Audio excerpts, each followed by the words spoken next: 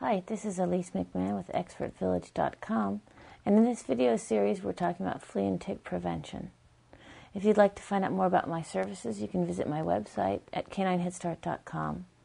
So in this short clip, we're going to be talking about how do you find out, how do you determine whether your dog has fleas. One of the best ways is to go over your dog regularly, especially during flea and tick season.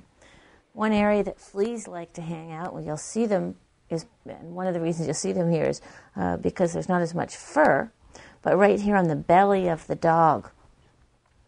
There's not as much fur here, but typically when the dog's legs are closed and they're lying down, it's nice and toasty warm in here. So this is an easy place to see if your dog has fleas, and usually what you would see is a small black dot scurrying across your dog. So again, the, one of the best ways is to examine your dog fairly regularly there's something called a flea comb, which is a comb with the tines very, very close together. And what you can do with this is you can run it through your dog's coat and see if you pick up any debris, any flea debris.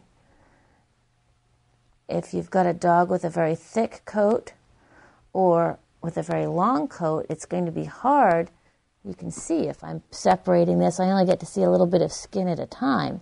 It's hard to see if there's any fleas. What this comb does, it's so narrowly spaced together, it'll actually pick up flea dirt. And if there's fleas in there, it'll pull them right out, and then you'll see them here in the comb. So you can just pick a spot on your dog and run the comb right down against the skin and then out towards the end of the hairs to see if they have any flea dirt.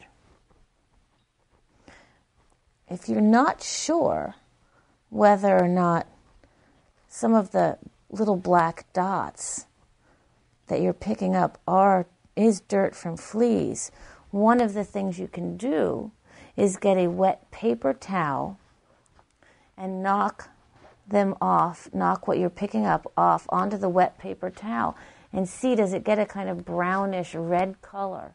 Basically, what it is that you're removing is the digested and excreted blood meal. So it's actually fee feces that's dropped on the dog. Many times your dog will have, can have one or two fleas and not be infested with them. However, if you are getting off large amounts of the little black flea dirt. And it probably means that your house has one as well.